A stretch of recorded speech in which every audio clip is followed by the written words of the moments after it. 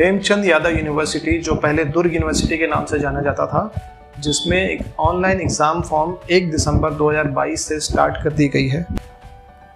ऐसे स्टूडेंट जो ग्रेजुएशन या पोस्ट ग्रेजुएशन के लिए अप्लाई करना चाहते हैं, वो फिर चाहे आप प्राइवेट से देना चाहें या फिर आप रेगुलर देना चाहें, वो आप अप्लाई कर सकते हैं।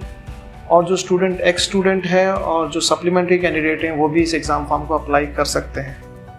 और इस फॉर्म को अप्लाई करने का जो लास्ट डेट है, वो है 24 दिसंबर 2022 तक।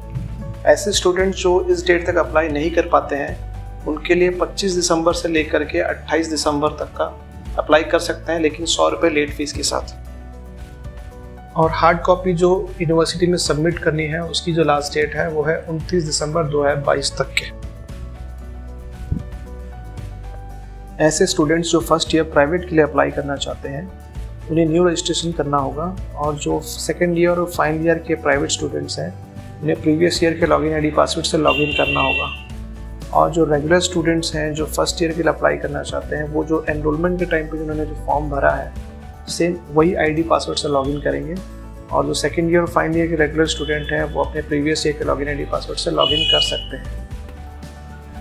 और इस एग्ज़ाम फॉर्म की फ़ी डिटेल्स कुछ इस तरह है। अगर आप बी ए बी कॉम करना चाहते हैं रेगुलर कैंडिडेट को ग्यारह सौ रुपये देने होंगे प्राइवेट वाले को सोलह सौ, दस रुपये एक्स स्टूडेंट को ग्यारह सौ रुपये और अगर सप्लीमेंट्री कैंडिडेट है तो आठ सौ, बीस रुपये इसी तरह अगर B S C home science करना चाहते हैं तो ग्यारह सौ, तीस रुपये रेगुलर सोलह सौ, दस रुपये आपका प्राइवेट इसी तरह एक स्टूडेंट के लिए ग्यारह सौ, तीस, और अगर आप सप्लीमेंट्री स्टूडेंट हैं तो एक हज़ार पचहत्तर रुपये इसी तरह जिस कोर्स को आप करना चाहेंगे, उसके हिसाब से फ़ीस आपके सामने है पूरे, जैसे B S C B C के लिए अट्ठारह सौ दस रुपये लगेंगे, जो कि रेगुलर ही होगा, इसमें प्राइवेट ऑप्शन नहीं है।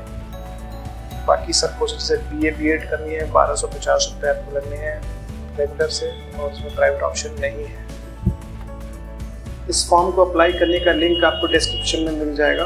और फॉर्म भरते समय कोई भी टेक्निकल इशू आए तो आप यूनिवर्सिटी के हेल्पलाइन नंबर पर कॉन्टैक्ट कर सकते हैं, जो कि सुबह साढ़े दस बजे से लेकर शाम पाँच बजे तक के। ऑनलाइन पेमेंट करते समय कोई समस्या आए तो हेल्पलाइन नंबर्स पर कॉन्टैक्ट कर सकते हैं, जो कि सुबह ग्यारह बजे से लेकर के शाम पाँच बजे तक चाहिए। So thank you so much and all the very best इसके अलावा और कोई सवाल हो तो आप कमेंट्स में पूछ सकते हैं और इन्फॉर्मेशन अच्छी लगी तो शेयर ज़रूर करें और इसी तरह के अपडेट्स के लिए चैनल को सब्सक्राइब करें। धन्यवाद।